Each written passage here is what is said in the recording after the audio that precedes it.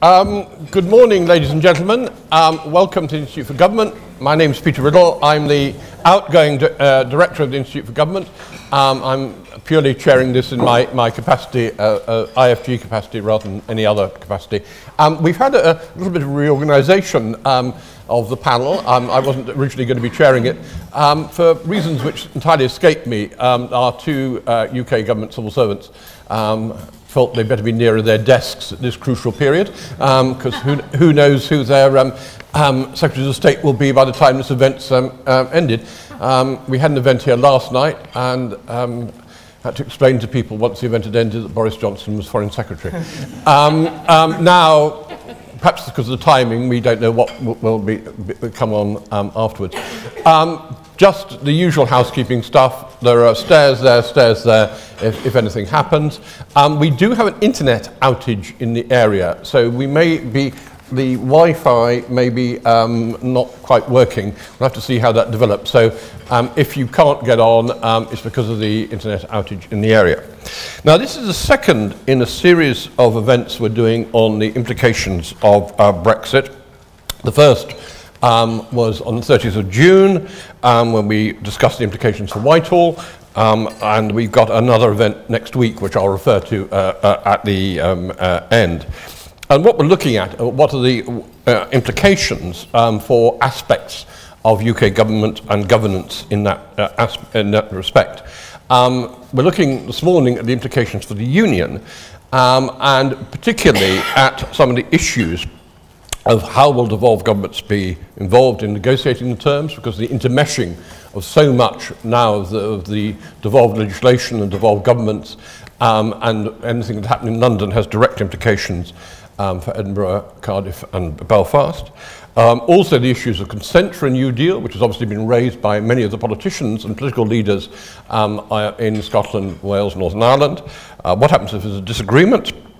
Um, obviously the issue of, of, another independence referendum in Scotland, the impl uh, implications of the Northern Ireland peace process, devolution in Wales, and of course there's legislation now going through Parliament uh, on Wales, um, following the legislation for Scotland, um, which went through um, before the elections in May, and also the conundrum of whether the devolved nations retain uh, uh, closer integration with the EU than perhaps England will in future and th that, that position. Now, we've got on the panel uh, uh, um, a, um, I say, two representatives um, from the um, devolved governments, I say the UK government, um, uh, two we were hoping to have here um, withdrew for the reasons I explained. Um, but we're going to open with my colleague Akash Paun, who is the in-house expert um, on all matters devolved and has been doing a, lo a lot um, on the, particularly on intergovernmental relations. And he's been doing that for some years now and looking at how the interconnections go between uh, Scotland, Wales and Northern Ireland and London. And um, he's also, since uh, Brexit happened, been blogging actively on that and looking at that, and a lot of his work on that's been taken up. So um, Akash will speak first. Um, to Akash's right is Ken Thomson, um, who's Director General for Strategy and External Affairs in the Scottish Government. Um, Ken has, uh, uh, uh, has been here frequently, um, and he has been closely involved on um, constitutional policy for the last decade. Previously, um, he, he, he was the uh, Principal Private Secretary to Donald Dewar at the beginning of the um, um, Scottish Government. He's also a distinguished student in music. Uh, he's the only senior civil servant I know who has a musical score. It's Bach, isn't it? Your office? In my office, yes. Yes, I, you I has Bach in his office. Um, which um, I was going to point out, though, Peter, that my permanent secretary is also a music graduate. So we're very musical in Scotland. Hmm. But she didn't, when she came and spoke here, she wasn't humming anything like the, the last Prime Minister. And, yeah. uh, and our, our, our, final speaker is Carys Evans, who handles intergovernmental relations um, for the Welsh Government. Um, she um, was, in her earlier years, um, a Treasury civil servant, um, and um, then has spent most of her career in Wales dealing with constitutional matters, the Richard Commission, and in the last few years, as I say, dealing with constitutional affairs. So we've got a, a, the absolutely ideal panel to deal with these matters and to set the context, Akash. Okay, thank you, Peter. And yeah, thanks everyone for joining us uh, this bright morning when obviously there's fairly important developments going on elsewhere in um, SW1, so uh, pleased to have you all with us. Um, so yeah, we're here today to discuss the uh, implications of Brexit for the Union.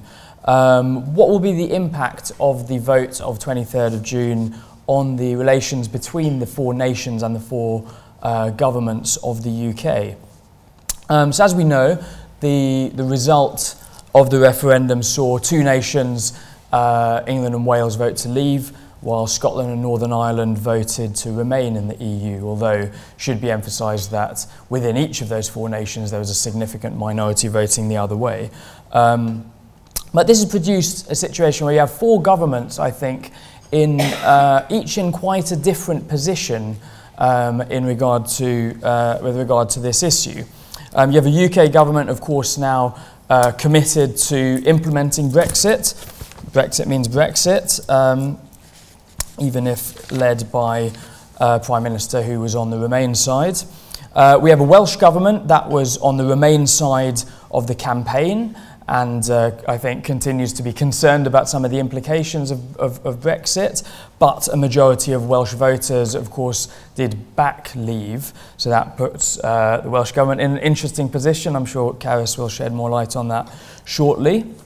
Um, in Northern Ireland, the government is uh, divided on the issue as it was during the, uh, the campaign itself. So Arlene Foster, First Minister of Northern Ireland, was the only head of government to, across the UK to campaign for leave. And um, the DUP, her party, and, and much of the unionist community there backed that option, while uh, the nationalist community concerned about the implications um, for the relationship with the Republic were much more heavily pro Remain. And Sinn Féin, the junior coalition partner there, has recently said they'll do anything possible to try and veto Brexit. Um, so we'll see how that plays out. So all this, I think, uh, creates a very complex and challenging um, intergovernmental situation um, that yeah, throws up a set of, uh, of questions for how the, the four governments are going to proceed in this, in this difficult uh, time. So first of all, there will certainly be a need to create um, probably new, certainly expanded systems and mechanisms for consultation and engagement um, of the devolved governments in the Brexit negotiation process. Um, David Cameron um, then still, of course, Prime Minister, um, emphasised that this would be central um, to, the, to the Brexit negotiation process on the morning that the result came out. Um, I have his, his, his words here. Um, the negotiations will need to involve the full engagement of the, the three devolved governments to ensure that the interests of all parts of our United Kingdom are protected and advanced. Um, but what exactly is that likely to mean? Um, we know from past experience that what the UK government thinks is effective, full involvement of the devolved governments um, in EU and other matters um, is not always the same as, as what people in Edinburgh, Belfast, and, and Cardiff would expect. Um, during the renegotiation process, for example, renegotiation of UK terms of uh, in terms of membership of the EU last year and earlier this year, um, the three devolved governments all complained publicly, um, stated that they'd been very, uh, pretty much kept out of the negotiation process. Uh, Carwyn Jones, First Minister of Wales, I think, said he only found out what the UK's uh, negotiation priorities were when he read about it in the Sunday Telegraph. Um, and there, there were no meetings before the, the key European Council um, of, the, of, the, of the interministerial meeting, the Joint Ministerial Committee on Europe that normally considers these matters. So I think, um, you know, the UK government hasn't always necessarily prioritised these matters. And its view at the time um, was simply that this is a, this is a reserved matter. Uh, membership of the EU is a non-devolved competence it's for UK government to take forward, and then, yes, we may uh, consult with, have conversations with the devolved governments, but very much on, on UK government terms. Um, And I suppose the question is is that kind of approach going to be appropriate and sufficient today with the stakes so much higher? Can we just tweak and build upon these existing systems and the, the, the, the current culture, I think, for uh, that, that, that, that uh, within which intergovernmental relations take place? Or do we need something, something new, something more extensive, perhaps something that rests on different principles um, that treats the devolved governments much more as partners? Um, and also potentially we, will there need to be greater transparency and accountability to all the parliaments and assemblies of the UK, not, not just to Westminster? Or will this just again be treated as no, this is a UK government matter with some consultation around the margins? And my view clearly is that if we don't get this right, um, there is serious potential for, for constitutional crisis, for, for serious disputes between the governments, which should be hugely destabilizing at a time when the focus will have to be on getting the renegotiations with the rest of the EU uh, proceeding effectively. Um, there's also the possibility that um, at the end of the process or at some points during the process, assuming legislation comes forward at Westminster to implement Brexit, there will be challenges in the devolved legislatures under the terms of the Legislative Consent Convention, um, which recently was, was, was recognised in uh, statute, as, at least as far as Scotland was concerned, and similar is about to happen for Wales. So The legislative Consent Convention, for, for those unaware, basically says Westminster will not normally legislate in devolved areas without the express consent of the devolved uh, Parliament or Assembly. And Westminster has always, uh, with maybe a couple of, of minor exceptions, abided pretty strictly to that convention. And as I say, it's now put it in statute. So I think it would be a pretty odd time and with possibly serious consequences if it were to ignore it on this issue. And we may end up with sort of cases being brought to the Supreme Court and so on, which surely would not be a healthy way to proceed. So I do think it's very important to get this right, and I'm very interested to hear what Ken and Karis think will be necessary. Um, Briefly, I also just wanted to say a little bit about what are likely, even at this early stage, as we can, we can say a little, to be some of the key issues that will need to be negotiated between the governments of the UK as part of this sort of multi-level game with the, also the negotiations ongoing, while the ongo negotiations are ongoing with, with the rest of the EU. So, I'm sure people here will, will all be able to point to things within their own domains as well, and Ken and Karis will pick up on things I, I probably have no idea about. But um, just a couple of points. Well, first of all, I think uh, money is likely to come into this. Um, Scotland, Wales, and Northern Ireland all receive per capita, I've got the figures here somewhere, um, significantly more money than um, England from common agricultural policy money, structural funds, there's special budgets in Northern Ireland as well, supporting the peace process and North-South cooperation. To what happens to all of that? I think the three finance ministers have said just recently that we shouldn't lose a single penny from this process. So that's going to be on the table. Um, does that then reopen other things about um, devolution finance, fiscal framework agreements that have just been at, you know, after long, tough negotiations themselves, um, agreed. Um, immigration and freedom of movement is obviously going to be a key issue. Scotland and Wales both keen to remain fully part of the of the single market with freedom of movement, keen to guarantee, perhaps you know more more expressly than the UK government has thus far done, rights of EU citizens here, already here, and that kind of thing. Um, in, in Northern Ireland, there's the specific issue of the border, Nobody there, I think, wants to see the imposition of border controls um, or breakup of the, of the common travel area that predated EU membership. So some complex issues around that. And potentially one of the things that might come up is whether aspects of immigration policy uh, should or will need to be devolved uh, to enable the other parts of the UK to, to take a, a different, maybe more pro-immigration policy than, than is the case in England um, or indeed this, this idea of, of, of Scotland and maybe the other nations as well having a, a different status, maybe a closer integration within a European Economic Area or, or EU or somehow having a different status than England does uh, within, within the single market. So these kind of options may come onto the table. Then there's also a set of interesting questions, I think, about what happens to the powers that will be repatriated from Brussels. So there's things like agriculture, um, in, environmental protection, fisheries, and so on, which are currently not reserved to the UK, so thus they're devolved by default, but also highly Europeanised.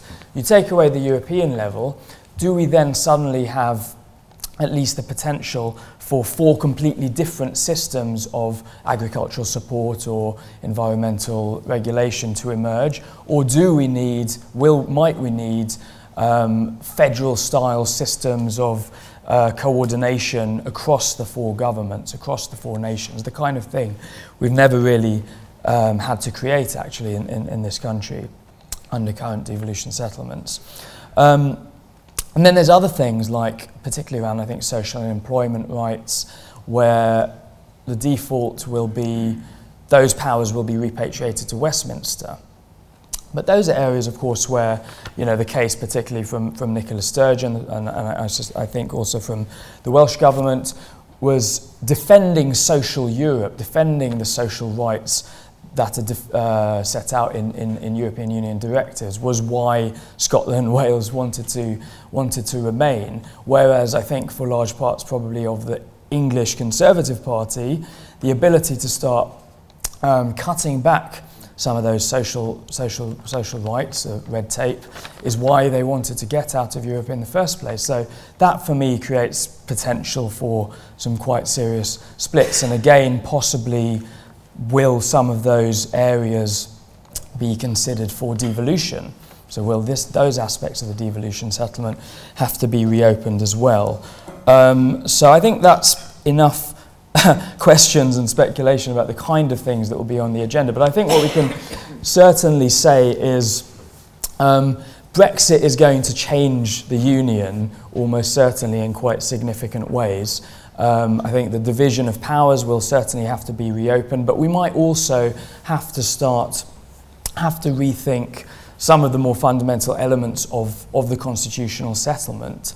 Um, you know, Westminster still sort of just about clings to ideas of parliamentary sovereignty and so on, but maybe will we come out of this with something more like a, a federal settlement eventually with entrenched powers and rights for the devolved governments? Um, clearly making predictions beyond the next five minutes, let alone sort of 10 years into the future, is, is, a, is a foolish pursuit at the moment in British politics. But I think these kind of things are worth considering. Um, and although it would be, of course, ironic, I think, if a vote for Brexit, which was all about reasserting Westminster sovereignty, might in the end possibly lead to something quite different emerging. Okay, thank you very much indeed. You certainly, um, I slightly um, underline how the world has dramatically changed in the last few months compared with the, the view which was coming from UK ministers that after the Scotland Bill and the fiscal settlement and after the Wales Bill, um, everything would be a kind of agreed picture and then we could move on and reassess. I think perhaps um, that, that no longer applies. Hmm. Ken. Thanks, Peter. Uh, just to pick up your point just there, uh, after the Scottish referendum in 2014, uh, my colleagues in the UK government were fond of saying to me that the referendum had settled things.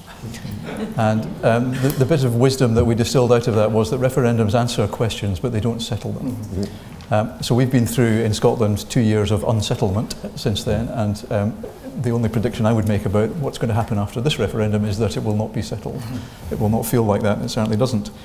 Um, I've got half a dozen points to make, which I'll, I'll try to do quite briefly. Um, I hope they make sense, although um, I was in the city the other day uh, speaking to a friend of mine who's a, uh, a chief executive of a fund management firm, and we were comparing experiences since the referendum. And I said, We've been living from day to day, thinking that sounded quite dramatic. And she laughed at me and said, I'm living from hour to hour. Uh, um, so uh, th this has ripples all over the place. So, uh, six points, each of which I'm, I'm going to try to illustrate with a quotation. And the first one is from a very senior UK government civil servant who said a few days after the referendum, quote, the union is back in the melting pot. And I think that is a good frame for uh, Brexit and the Union. It, it, uh, it brings back into play some issues which haven't really gone away in Scotland, but which are now very present, I think, for my counterparts in the UK government. And um, reasons for that are the, uh, the nature of the result in Scotland, uh, the, the, description by the First Minister in Scotland that um, for Scotland to be taken out of the European Union, having voted to remain, would be, in quotes, democratically unacceptable. Um, and there's something here about mandates and about um, how those are reflected in the, the world that we're now in. Um, I like the way that um, Peter and Akash framed this by saying that we, in effect we have had four results, not one result. And I think the only way I can make sense of the intergovernmental relations and the uh, politics of this is to think of this as four results. Two countries in the Union voted to leave and two voted to remain. And what, what the governmental, intergovernmental system is now grappling with is the consequences of that. Um, I think that that will be a process of negotiation between governments uh, and that will, the, the, position of the Scottish Government on that, will, I think, will be, uh, we're, we're, fond of using the phrase parity of esteem. And I said to Philip Rycroft the other day, who was to have been one of the panelists today, that uh, we now knew that parity of esteem meant that we had each lost a referendum. uh, and we uh, and the, the, serious version of that point is that um, just as in the run up to the last referendum, we did some good intergovernmental work to produce the Edinburgh Agreement and to find a way of reaching agreement between governments rather than one government consulting another and then doing what it was going to do in the first place. Uh, I think we are back in that position now, and I'm not quite sure what shape the, the, uh, will emerge from that, but that seems to me to be the, the nature of the process.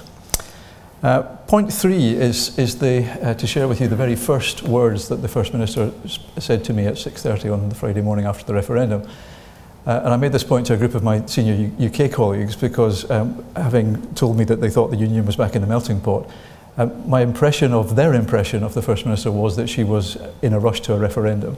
And I wanted to give them a different perspective on that. The first thing she said to me that, at 6.30 that morning was not, here's the date for the referendum. It was, uh, with a look of genuine concern and some shock, it was, what have they done?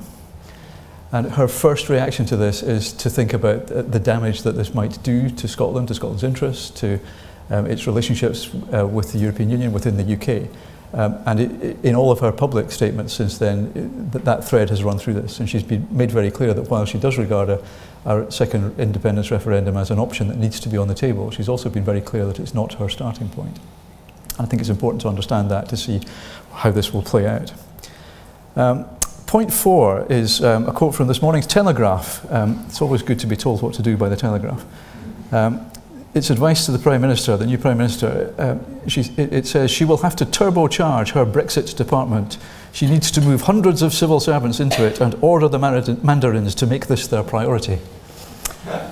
If you think that machinery of government is the answer to this question, then you're probably not understanding the question, I think. Um, and a, a, personal reflection on that is, um, the, is the problem of churn. Um, since the referendum, I have sat in rooms with uh, my new colleagues from the uh, Cabinet Office Europe unit, and the phrase that uh, I take away from that is, I've only been doing this since Monday, but it seems to me that.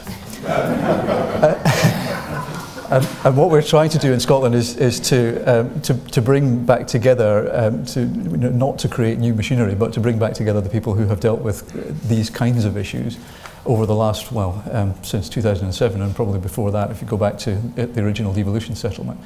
So how the civil service as a whole brings to bear the uh, knowledge and expertise that it has is a bit of a challenge in this uh, new set of circumstances. Uh, point five is, I, I, don't really have a quote, but perhaps if I did, it would be here we go again. Um, the, and it picks up Akash's point about the, the, the emergence of some kind of quasi-federal system. It seems to me that what we have done over the last decade or more is um, done sort of ad hoc federalism by addressing issues as they arise. We addressed the desire for self-government in Scotland through devolution in the first place. Uh, we addressed the, um, the question of whether Parliament or the people are sovereign through the Edinburgh Agreement. We've addressed the question of funding and whether the Barnett formula still works in, for a tax raising government through the fiscal framework. And we do each of these as a one-off negotiation and we don't really uh, produce a structure uh, that, that people would recognise as a federal structure. Maybe that can't be done, but But here we go again, we're about to get into another negotiation in which we try to make sense of what the referendum means for the quasi-federal structure of the UK. And final quote um, is from an article by the Irish columnist Fintan O'Toole a few days before the referendum. And the headline of his article was, with a nice sense of irony and his tongue slightly in his cheek, Is England ready for self-government? Um, and he, the, the thoughtful point he was making in the article was that one of the consequences of a leave vote might be that his, his words were that England might stumble towards independence. Um, and it, it's a, a, a theme of a lot of IFG work in the past, uh, which is the, the only country in this union that doesn't have a, a government, a parliament of, and a government of its own is England. And I think the, what we're about to see is going to uh, throw that question even more sharply into relief. If you live and work in Scotland, it's felt in quite sharp relief for some time, but I think it, it uh, has been present in the referendum campaign and will be present in the aftermath. Ken, thank you very much indeed. Lots and lots of questions we'll come back to, uh, which you've raised uh, um, in your remarks. Carys. Thank you, Peter, um, and thanks for the introduction. I, I have to say that as the sort of Welsh person on the panel, uh, it's, it's always people are always surprised. I don't have any music credentials. I'm I, I'm not a member of a choir, so. Um, Yes, just to uh, start by saying that it's really welcome that the Institute for Government is putting the spotlight on this domestic aspect of the EU negotiations. And I think uh, Akash has outlined very well the, the, the range of issues that, that, that, that come into this. But in a way, this is also a continuity of the sort of issues that you've been working on uh, since the Scottish referendum and you know the very much the emphasis on uh, don't take the union for, for granted, um, you know, the importance of the, of the civil service and, you know, the joint shared civil service values and intergovernmental relations as, as part of the, of the glue or indeed the cement that we need to, to keep the union together because our, our First Minister, Carwyn Jones, you know, his immediate response to the Scottish referendum was that it had underlined so strongly that the United Kingdom is a voluntary union of nations and all this you know, discussion about machinery and so on, as Ken has said, is just about the process for making, making that a, a reality. Um, so coming from Wales, I, I have to start with finance uh, here and um, there's a huge amount at stake for Wales in, in these negotiations. I mean, Wales currently receives around 600 million a year of investment from European programs. That's the combination of uh, agricultural support programs, um, the really important uh, economic and social projects in Wales funded through the structural funds, and also uh, you know, considerable investment that goes into our universities and, and, and other, other projects. So, so th this is really uh, substantial for us and during the campaign uh, you know, commitments were made that every penny of this would, would keep coming to Wales. And, you know, the, the First Minister has said that it's absolutely vital that that, that, that continues. Um, and this that issue will be the subject of huge scrutiny in Wales as, as, as, this, process as this process develops. So just, to, I mean, to focus really on, on two dimensions of this. As I said, the, the, the funding aspect and the, the constitutional aspect. Um, the point about the European funding is not only you know, its intrinsic value to Wales, but also it's part of a, a wider context where it's been very well established objectively that Wales is, is relatively underfunded in relation to its needs. Barnett has short-changed Wales, even if you, if, we're, if you assume we're getting all this European funding. If that were not to be protected, you know, the situation is much worse. And, and that's the, you know, the, the really vital context for these negotiations from, from our perspective. Um, on the on the constitutional side, um, I mean, there are you know, a number of positives for Wales. I mean, it was very welcome that the Prime Minister made such a point of emphasising the intergovernmental aspects of the negotiations, um, you know, immediately on, in Downing Street after the referendum, and then reinforced again in, in the cabinet statement. So that's really positive and you know that was followed up immediately at official level by some you know in, really um, very serious discussions that are continuing about how that is going to work in terms of the in terms of the machinery. So that's that's really positive. Um, I think on, on a sort of note of caution for those of us who've been sort of at the coal face of, of trying to make the uh, intergovernmental relations process work. Um, you know, we don't underestimate how, how difficult that, that has been in the past. Um, you know, simply because, and, and you know, this isn't for want of trying. I mean, there's been a huge effort, but intensified, I think, since the Scottish referendum by by the Cabinet Office to really ramp up the engagement of Whitehall with, with devolution and to strengthen both the sort of cultural learning and development side of it and the, the process side of it. So, so that is very positive, but, we, but we're still left with a process which is run by the Cabinet Office, which is used to running Cabinet Committee meetings where, you know, UK government is in charge and it's driving forward its own business. So you know, running into governmental relations like that, you know, doesn't, you know, that's not how it needs to work. And, and you know, it is getting better, but it is still a big challenge uh, for us. And I think what the EU withdrawal process is going to do is to really ramp that up. Um, it's going to need to intensify that process, and that is going to be a, a big shared challenge for, for the civil service. Um, on the positive side of that, I think, and I'm always somebody who uh, you know, instinctively looks on the bright side of everything. Um, I, I remember from in a previous role, I was working on public service reform at, at local level, and you know the challenge of how do you get public uh, service delivery agencies, local authorities, the NHS, the police, etc to really collaborate uh, in, in, in the more, you know, in the, in the way that Akash was describing, not just kind of consult people at the last minute, tell them what you were going to do and maybe tweak it, but, but genuinely work together. And there's a lot of research on, on this. Um, but you know, one of the key things that, that we learned from that is one of the things that really improves relationships and strengthens collaboration is when people work together on a joint project. So I think, you know, drawing that uh, analogy into this situation, uh, it, this is going to be an intensification of intergovernmental working.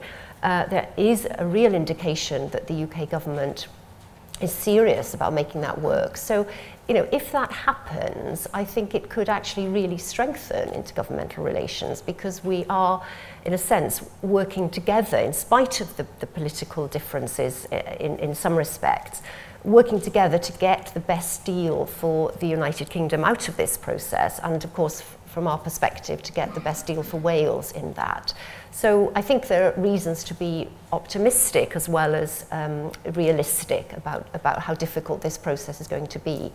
Um, and finally, um, Ken mentioned the, the federal uh, debate uh, which again isn't new. I mean, it, was, it, it, it, it, brought, it came to the fore after the Scottish referendum. And you know, this is something that Carwyn Jones has made many speeches about, including a very well received one in this room, Peter, I think. Um, and he, you know, he has been consistently arguing that since devolution, the the, the issue of you know, different mandates in each part of the UK, different uh, direct accountabilities, and of course the formal um, entrenchment of the devolved legislatures in the UK's constitution, which has come about as a result of the Scotland Bill and the Wales, Wales Bill currently uh, before Parliament.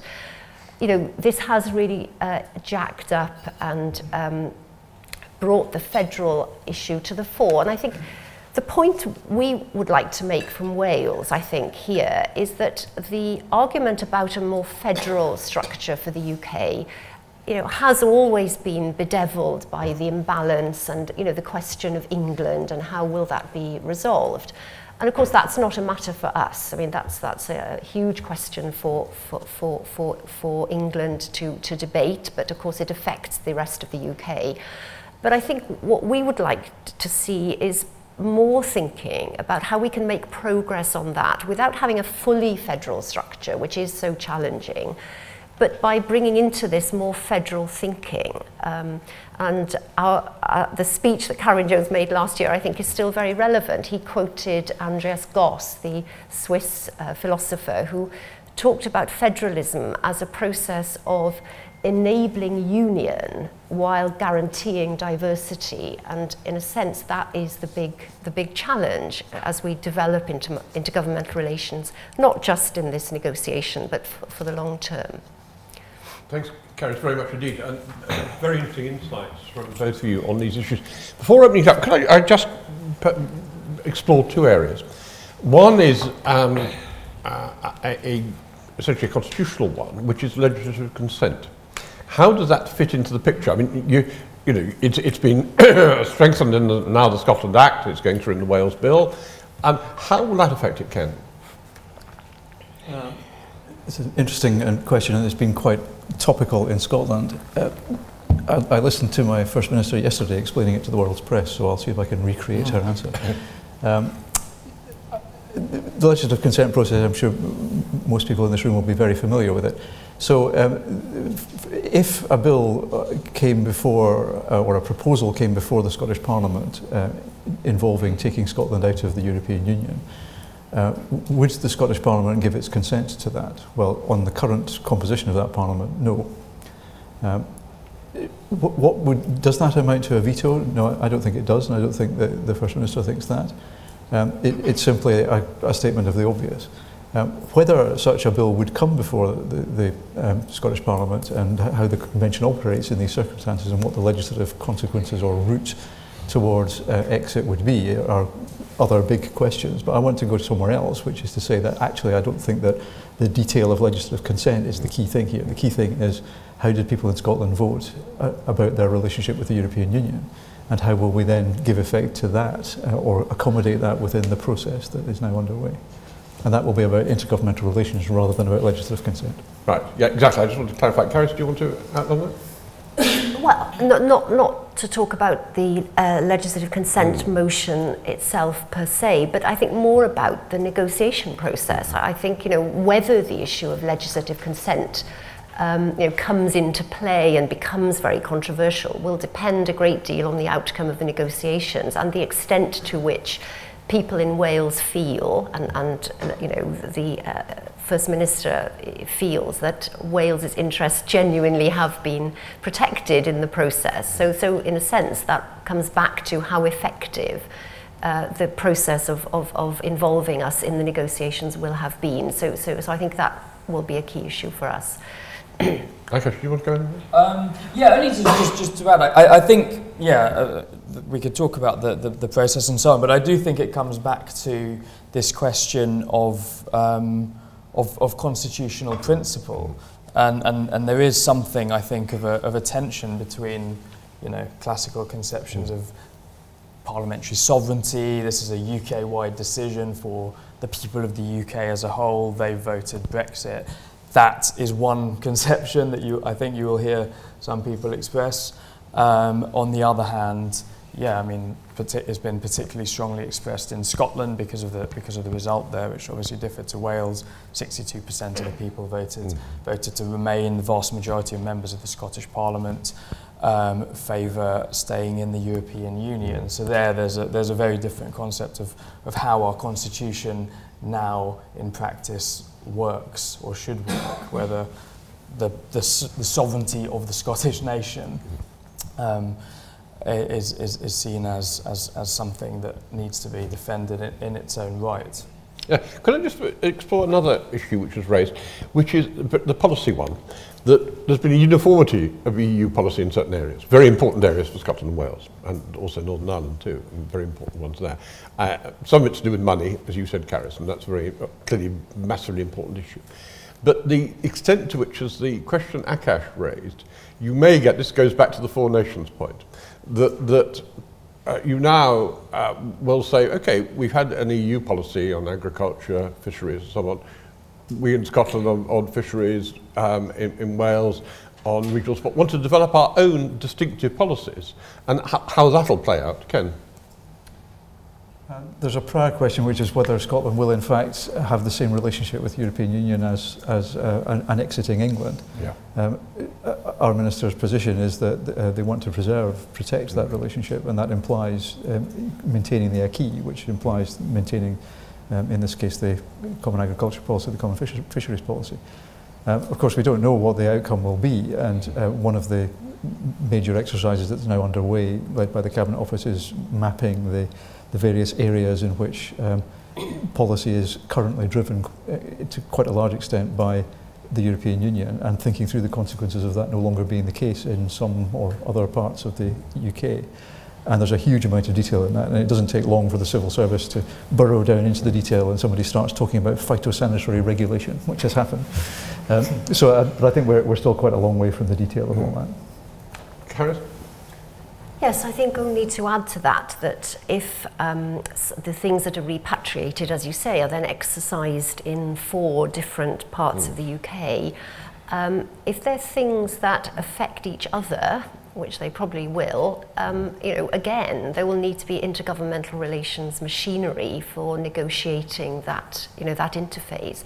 I suppose if you, if you think about the um, current devolution settlement, I mean, a lot of the big things that had evolved, you know, the, um, the NHS, education, local government, I mean, they're things where each administration can largely, you know, develop its own very distinctive policies. I mean, Wales has a very, Wales and Scotland have, uh, and Northern Ireland each have, you know, very distinct approaches to uh, in Wales's case, a social partnership relationship with the workforce and a collaborative approach to public service delivery, not a competition approach. So, you know, and we've been able to do that because it, it doesn't really affect anybody else. Whereas if you're looking at issues like state aid, um, you know, agricultural policy and so on, those, those will have much more uh, impacts on each other. So well, there will need to be more strengthened, uh, more effective intergovernmental relations to to deal with that. So it, again, it comes back to the point about the intensification and importance of, of those issues.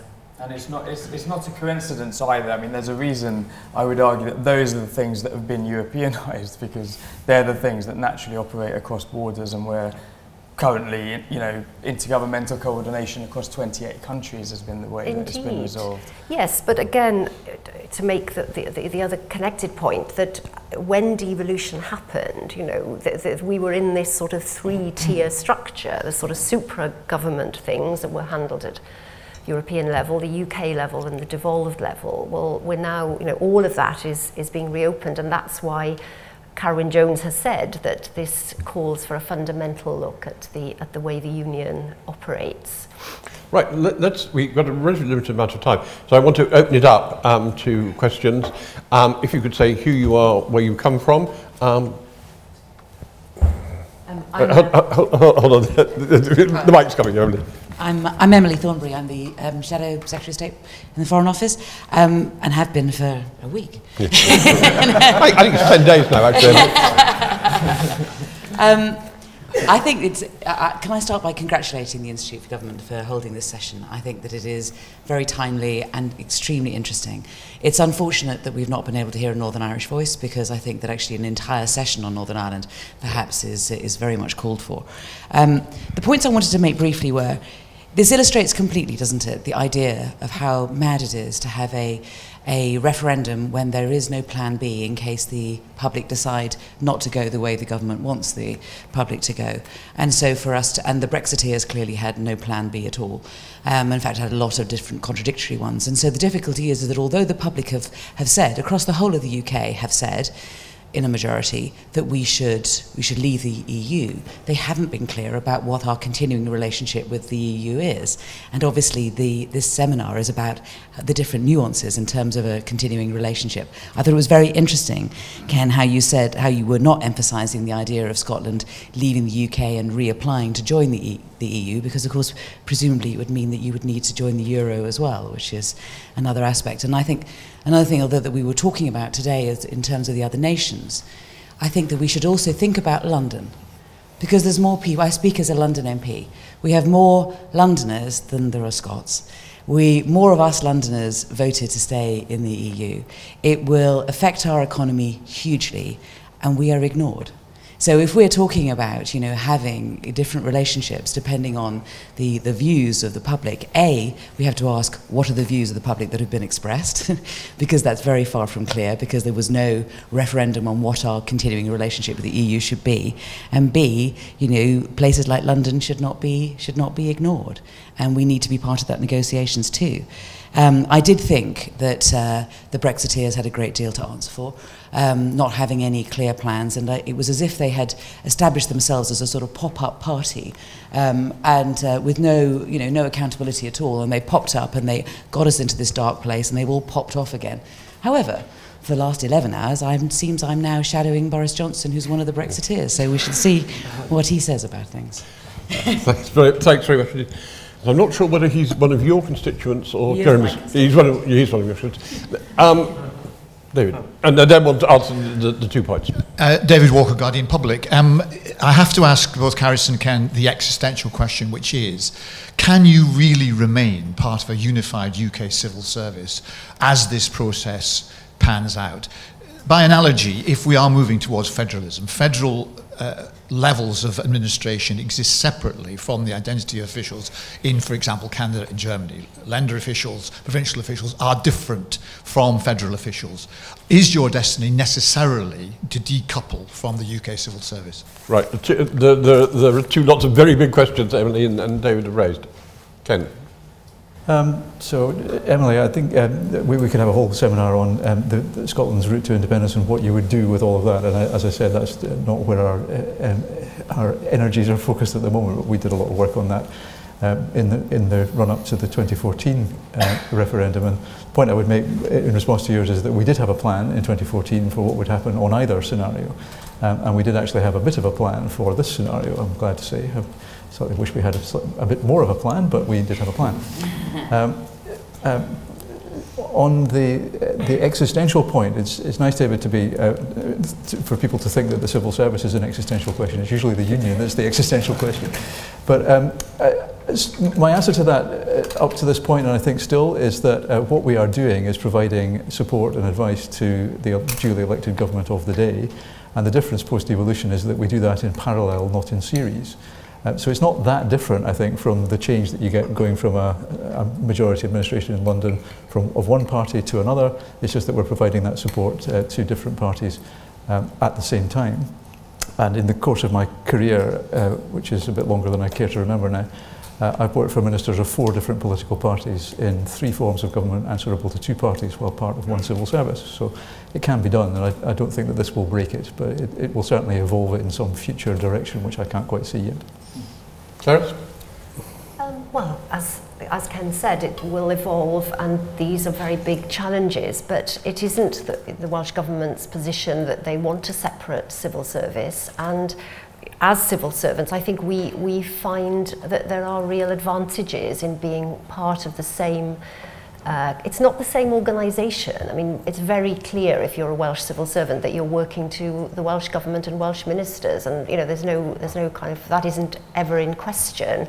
Um, but what you are trying to do is to work together with, with the UK government in, in a way that's efficient and, and you know, delivers for Wales. Um, a lot of the things that we work on um, in, in the Welsh Government are necessarily collaborations with, with the UK Government. I mean, you know, big things like the uh, Cardiff City deal, um, really big projects like that. And, you know, there are a lot more UK government civil servants in Wales than there are uh, a relatively small number of us working for the, for the Welsh Government. So I think it's a very practical argument, really, that, that, it, that it works. Um, we, we do have a lot in common. As Peter said, I used to work in the Treasury and it's been invaluable, you know, being, uh, having that experience of being in the Treasury when we used to develop great new initiatives and then think, oh God, we've forgotten about the, we used to call them the territorials in, in those days. So, so I think it, you know, it really does help to understand the other side and the problems they have and the pressures they're under.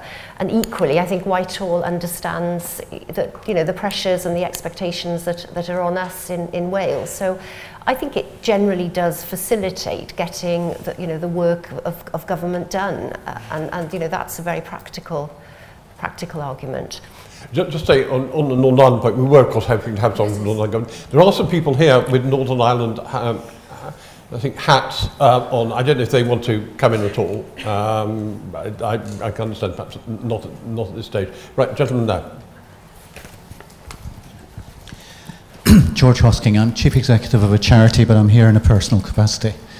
Um, as a Scot, I'm very interested to know what happens if the negotiations to get a special role for Scotland inside the United Kingdom, but still inside the EU, fail. Uh, Nicola Sturgeon decides she wants a referendum. Theresa May says, no, you can't have a referendum. Nicola Sturgeon has one anyway, and Scotland votes to leave. What, in constitutional terms, happens next? Hypothetical question. Akash, Maybe Akash is going to answer it for yeah, Akash answers hypothetical questions. That's why he's employed. I'm not sure we quite answered um, Emily Thornberry's questions. The, well, yeah, and, and, and your question about contingency plans. So just briefly on that, I mean, I think on the sort of should have there have been a plan for the result, um, there's a political level thing about, you know, the Leave campaign, what, what plans they should have made. Um, as far as the civil service was concerned, I mean, I think we know that, you know, they were the instruction from ministers was not to do at least here in Whitehall uh, not to do detailed contingency planning so I do think that was a that was a you know a ministerial level decision um, but I, it does actually um, it does actually flag quite an interesting issue about referendums as you know something we don't have a huge amount of experience of in this country. I mean before elections of course there's very well established conventions that civil the civil service prepares for the different possible outcomes you know has access talks with the opposition and and has some kind of a plan for, for the different possible results. Um, referendums yeah we don't have enough experience to have those kind of conventions and the view is simply there is a government view of, you know, in this case, Remain in the Scottish uh, independence referendum, obviously the UK government had a clear view and didn't do contingency planning for a yes vote. So if any government is uh, bold enough to hold another referendum in future, I think these kind of questions probably should be debated a bit beforehand. Um, London, I mean, London's obviously miles behind Scotland, Wales, Northern Ireland in general in terms of its devolution and, and sort of constitutional status and I, and I do think it's likely that um, yes with the result we've had and a you know strong new leader um, of London, London may well start to assert itself more in the in the territorial politics of the UK. I mean, it's very hard to to predict how that will play out. Um, but yeah, I mean, it hasn't been mentioned in the same breath when when when the government's been talking about consulting with the devolved governments. I don't think anyone's mentioned London, but yeah, at some point, London may may well sort of start to reach that status. Um, on Scotland, if we have, if we end up with that kind of constitutional crisis, well, of course, we've, ne we've never quite been there before. I mean, the 2014 referendum, there was a negotiated agreement that, that, that uh, between the two governments. Ken referred to it earlier. Ken was essentially involved in doing the deal. um, that gave temporary legal competence to the Scottish Parliament to hold the referendum. So that, that power has now expired. Implicitly, um, if the Scottish Parliament were to hold a referendum um, it, without such an agreement, that could be subject to uh, challenge um, by the UK government. That could could lead to, to, to a case going to the Supreme Court um, on whether well the legislation in the first place was um, within competence or, or ultra vires um, and whether the Scottish Government could use public funds to hold a referendum.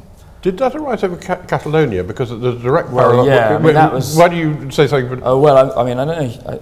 I, I don't know all the ins and outs of that, but yeah, I mean, the, the approach taken by the Spanish government to Catalan uh, drive for, for, for, for, independence and their um, the referendums or something like referendums that they have held. I mean, that stands in marked contrast to the um, negotiated uh, the deal done between the UK and Scottish governments in 2014, and, and we see just ongoing sort of constitutional deadlock between Madrid and Barcelona.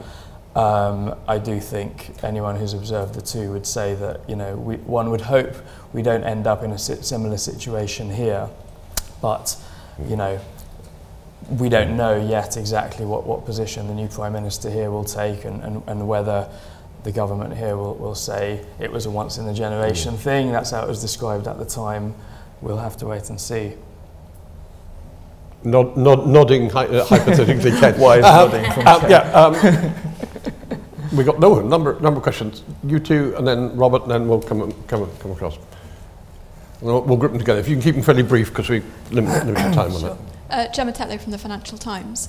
Um, both Akash and Ken sort of referred to this idea that maybe the, one, the devolved nations would retain a closer relationship with Europe, and you're even hinting staying in the single market if England came out of it. How, in practical terms, would that actually work, though, without just basically throwing up a whole load of new borders and barriers between England and Scotland and Northern Ireland? Yeah, simple one, Jim. Yeah, um, Uh, Alistair Smith, Competition and Markets Authority, and my question is really a different version of the same question. In those areas of policy where you, that you mentioned, which are currently very heavily Europeanised, which would return to the UK and could then be devolved, competition policy and regulatory policy are at the heart of the single market. Could you, and the businesses that are subject to them operate on a deeply integrated UK wide basis at the moment? Could you envisage a situation where UK businesses, retail businesses, the telecoms companies faced three or four different regulatory and competition regimes in their UK market? right, that's a very interesting one. And pass it back to, to Robert there, yeah. Robert Hazell, um, forgive me, not a question. I wanted to add a bit more, if I might, to Akash's uh, hypothetical answer. Well, answer to the hypothetical question, um, which is this that I think if Scotland found that the result of the negotiations was so unsatisfactory that the Scottish Government formally decided, right, uh, our least worst option now uh, is to revisit independence, and we're going to ask the people of Scotland again uh, whether now, in these changed circumstances, they want independence. My own view is that they could craft a referendum question which would be within the competence of the Scottish Parliament. So it needn't be the same as the 2014 question. I think it could be along the lines of Do you, the people of Scotland, authorise the Scottish Government to enter into negotiations with the British Government with a view to attaining independence? And if the people of Scotland voted yes, I, I, my own view is that the Supreme Court would uh, rule, if challenged, that that was within the competence of the Scottish Parliament, because it's not seeking independence as such. Um, and if Scotland voted yes, there would then be a very, very strong democratic mandate for the Scottish Government to say to the UK Government, this is what the people of Scotland have formally said they want. You must now enter bona fide into negotiations. Just on Catalonia, it is slightly different because the Spanish constitution says that Spain is an indivisible republic, um, and that is why the Spanish Constitutional Court has ruled that an independence referendum is unconstitutional. I was thinking more of politics, but the, two, two separate areas there, single market competition uh, uh, and um, it would be possible to frame a question. Okay. On the question of um, what options are there for, um, for what we might call a, a, differential outcome here. Um, uh, just as we're all now experts in, our, or at least we're aware of Article 50 of the Lisbon Treaty, we're also all now aware of the phrase reverse Greenland, which is one of the options. Um, uh, there are other um, uh, ways that you can look at this. There's obviously there's the Norway model. There's the um, models thrown up by other parts or, or, or other territories which are much smaller than Scotland, such as the Crown dependencies. Um, I, I, think that there is a lot of work to be done on options and, and models and so on. My starting point for it is not actually to look at Greenland or Norway or whatever, but to say uh, what is it in the relationship with the European Union that Scotland wants to protect? What are the dimensions of that? Um, and th- they're implicit in the, in the arguments for Remain. Um, access to uh, single markets, the free movement of, of people, the protection of rights, and so on, regulation, protection of the environment. So it, when you list the, the interests that you have in that relationship and then you look at the possible models or options, uh, th- I think that helps you to see where you can develop something either from an existing precedent or something new, um, because that's the kind of territory that we're in. Uh, in order to help us do that, uh, the First Minister has appointed a standing council on Europe uh, with people on it who have great expertise in those areas because Scotland has not yet, uh, not yet had enough of experts. Um, so the, that group is, is having its, its first meeting today, in fact, and um, I'm flying back up to Edinburgh to have dinner with them.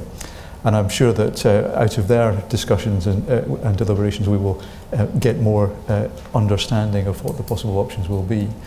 And on the point about regulation, um, just to make it very briefly, I, I think uh, in, in the run-up to the independence referendum, we were very alive to the issue of uh, what would have been cross-border regulation in the event of independence uh, and the implications of that. Uh, the, the, there will be lots of different perspectives on this. I think uh, you have to find a way of making that work. And I think that uh, one of the things that has not yet happened in the debate on post-Brexit is the is voices of that sort, the interests of business uh, and, and the consequences for business. Uh, seen from Edinburgh, the debate here has been turned in a bit on the politics of leadership elections and so on, rather than thinking through the, the consequences, the, the ripples from the stone that's been thrown into the pond. And I think business regulation will be one of those. And Robert's made a helpful suggestion for you. And, and thank you, Robert. I'm, I noted that with great interest. Kate, do you want to come in on Yes, just, just on the, the, the regulation question. I mean, in, in Wales, we are always arguing for, for you know, more subsidiarity, for a presumption of devolution um, unless there's a good reason for things to be run at the centre. So we, we, we've done uh, a lot of thinking about, well, and this is in the context of the Wales Bill, about you know, what is the union for? What are the things that really should stay at, at a UK level? And, and one of the biggest parts of that is the UK's internal market and, and the importance of that for business. And uh, you know, we've, so one of the reasons that we don't want these things devolved you know, in, in, in the Wales Bill uh, is because of the importance of maintaining that internal market and, and seeing you know, regu regulation and business regulation as part of that. Thank you. Uh, Akash? Oh, thanks, yeah. No, just briefly, I mean, on, on um, possible models uh, for sort of differential membership of the EU or integration of the single market, I mean, yeah, Ken's sort of um, referred to the, the, the reverse Greenland, which sounds like a sort of painful yoga position. But um, there are, I think, 20 something uh, territories recognized under European law that have uh, that are mostly kind of little islands like the yeah, UK crown dependencies or bits of you know leftover bits of French and Dutch empires scattered around the place that have some kind of halfway house relationship one way or the other. So I don't think there's anything um, that would be a, you know, a direct uh, a model that you could just lift up and apply to, to any of the nations of the UK. None, none, of, the, none of the current deals um, would be for a country of the size of, of Scotland, and none of them have land borders with um, well, most of them are islands, so they don't have land borders with anyone, but with, with, with, with their parent country, so to speak. So yeah, it would have to be, it would have to be something new, but there's some kind of precedent of, of different parts of, um, European states having differential relationships. Shouldn't forget Gibraltar as well, which already has a sort of I can't remember the exact details, but half in, half out thing. Um, on competition policy, I mean, that's probably going to be a big thing that I one will need to learn more about. I, I, I certainly don't enough know enough to, to, to, comment. I mean, the only thing I'd say on that is, Carys referred earlier to, you know, the, the, the, the nature of the devolution settlements we've had to date has been things are devolved or they're reserved. This is simplifying, of course, but you know, public service delivery to a large extent you're able to devolve and not worry too much about cross-border effects. That there are some. Mm. Now we might be moving into an era where, yeah, we have to think about um, if those things like that and cross-border things like uh, environmental regulation are devolved at least in part, we may need to need to start building much more extensive um, systems for, for joint government working, so along the lines of, of, of, of proper federal systems to go back to that point again. Right, got um, just scope for some final questions. Bob Morris, Constitution Unit, late, very late Home Office.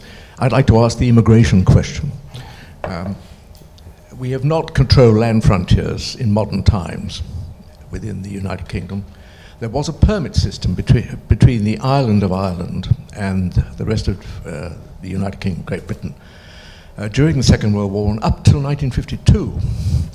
Um, how salient do members of the panel think the immigration frontier control question will be both in internal uh, intergovernmental negotiations within the UK And uh, in the larger Brexit negotiation between the UK and the, uh, the rest of the Union, what is the relationship between these?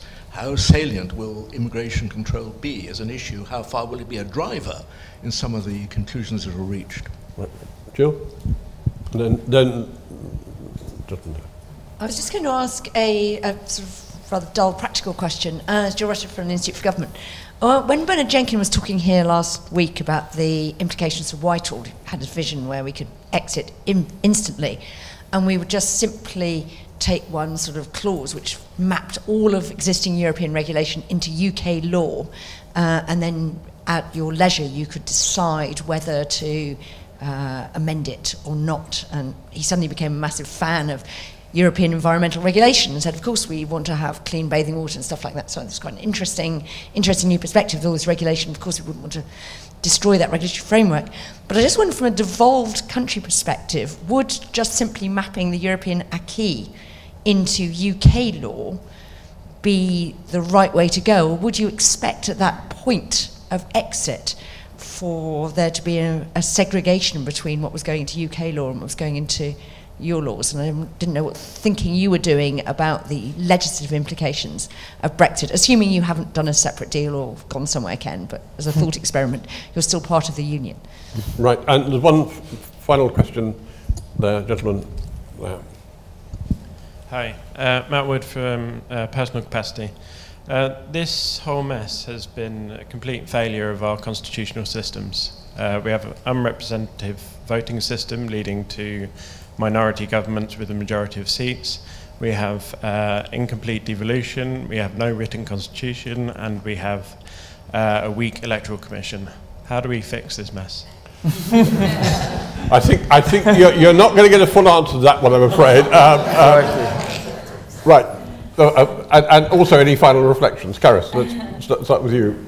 You've got a wide range of issues you can take up there. I'm not going to pretend that I've got answers to them. Uh, yes, the immigration issue is going to be very salient in the negotiations, but I, haven't got a particularly Welsh angle to, to offer on that. Um, it, it's early days. Um, the point Jill makes is, is, is, is crucial. Um, huge amount of work for the uh, for the devolved legislatures in dealing with the, the legislative fallout of all of this. I don't, I don't know the answer to quite how that can be done. I think we're, we're still working it all through at, at the moment. But um, yeah, the, the, you know, the inherited body of legislation is, is enormous. But I think just as an aside in terms of what Jill has said, you know, what's interesting is that having for years had a debate or, that's been very much coloured by all this horrendous, you know, by implication, unnecessary red tape. You know, people are, are now kind of realising the value and, and the sort of, you know, importance of uh, of clean beaches and uh, proper arrangements for disposing of animal carcasses and, and you know all the rest of this very sort of bread and butter stuff that's that's there and all this will have to be have to be worked through. Ken? Um, I'll try and be brief. The, the, these are three fascinating questions. On immigration, um, two things that I just want to note. The first is that um, government policy towards immigration is very different in Scotland. Scotland is a, a country that needs its population to grow. Um, and it, it's been a feature of the debate since the referendum um, that our First Minister has wanted to um, extend uh, a reassurance and a welcome to the people who are not UK citizens living in Scotland that they are welcome and that their contribution is valued. And the implication of that is that um, Scotland would, would want to uh, welcome uh, immigration in future, and that's obviously very different from the tone of public debate south of the border. Um, second point on, on that is about borders. Uh, I was in Dublin earlier this week, and um, many of the border issues that we were thinking about in, in 2014, of course, may arise in the island of Ireland. Um, and I think it's going to be quite important to um, stay in touch uh, in that wider circle of intergovernmental relations, for example, through the British Irish Council, which um, is, is a good forum for these things.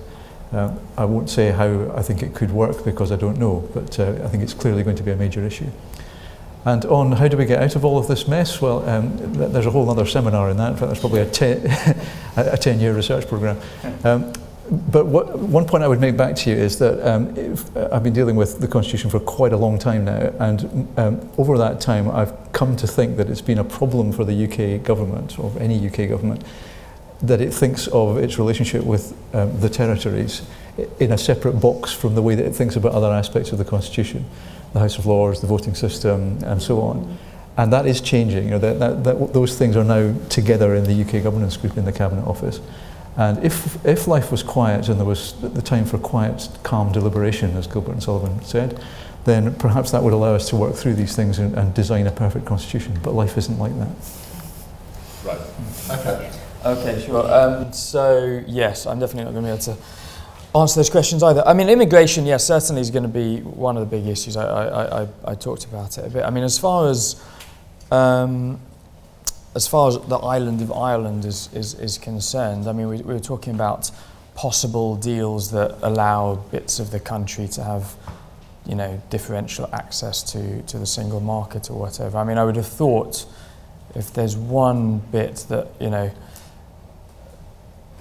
there's one specific deal that probably all parts of the UK would favour doing, it would be somehow to maintain the common travel area, um, even if you know, there are uh, controls put on freedom of movement from elsewhere in the EU um, into the UK. I mean, that's, that's speculative, but, you know, given the sensitivity of those issues and the continuing fragil fragility of devolution and power sharing in Northern Ireland, I would have thought that, you know, that would be something people would, would put serious thought into how we can how we can ensure that. And indeed, I mean, it's not just the UK and Irish governments. The EU institutions are committed to and you know provide funding for and so on um, the cross-border initiatives between north and south as well and and indeed the the, the, the Good Friday Agreement um, has reference to European institutions and sort of is predicated on both sides of the border being within the EU, at least sort of single market, I guess, or, or, and so on. So that's obviously a really key issue to get right. Um, don't know exactly how it will work out. Legislation, I think the others definitely have better sense of that than I, so I won't comment on that. And um, how do we fix all this mess? Yeah, I mean, I do think, I've, I said this before, I mean, as far as the relationship between the nation, so the territorial constitution, um, I, I can see that we may well, you know, come out of this with something quite different, aspects of it, you know, codified in a more systematic way than has has previously been the case, where, as, as Ken said, there's been, and Carys too, indeed, there's been a set of sort of bilateral ad hoc deals in response to specific problems as they crop up. Um, and, you know, this is surely, if ever there has been one, a, a constitutional moment. So we don't know what's going to come out of it, but something different would be my prediction. I'm not sure moment. That's very brave. Yeah, but bold, bold predictions. Generating a lot of work for yourself. Um, I'm not sure constitutional moment. I'd say moments. I mean, I'm, I'm struck in conclusion. I mean, one, uh, we could have at least four further um, seminars on constitutional issues, London, Northern Ireland, and England. I mean, the interesting thing you know, Ken raised is the uh, aspects of the English question, which will come back in various forms. I mean, um, we'll see as the new government it, uh, unrolls how much that aspect is reflected in, in, that. And lots of, lots of questions, and, and I think things which have been um, pigeonholed or, or, or, or, or isolated um, will come through to connect very clearly. And also, as I was saying earlier, I think the sense which had been the hope, certainly the UK government, um, up to the, the vote of, of, of um, uh, three weeks ago, that somehow things will be settled in a year or so's time, is completely the reverse, and lots and lots of complicated um, interrelationships. And as you said, it raises far more questions from, from what's happening on single market trade to intergovernmental relations. So um, could, uh, before I ask everyone to thank you, um, the, um, I will have the pleasure of being sitting in the audience in future rather than chairing these events. And what I'm looking forward to is seeing Ken, Carys and Akash on the platform um, later this year or early next year um, in, in a further series of explaining what is happening. So could I ask you all to join me in thanking them?